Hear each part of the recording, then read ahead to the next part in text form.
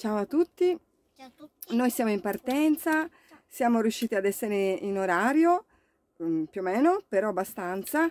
E, mm, eh, andremo, la prima tappa sarà mm, dopo Ulzio, e adesso non- in questo momento non mi ricordo benissimo il nome, ma volevo Volar. soltanto a Volar, bravissimo Nana, e volevo soltanto farvi vedere in che condizioni è il nostro camper, perché il punto non è andare in vacanza, il punto è traslocare questo.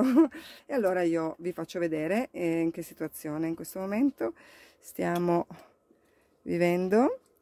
Eh, bambini, bambini e pistacchi e poi c'è di tutto da tutte le parti, ma noi abbiamo molta fiducia.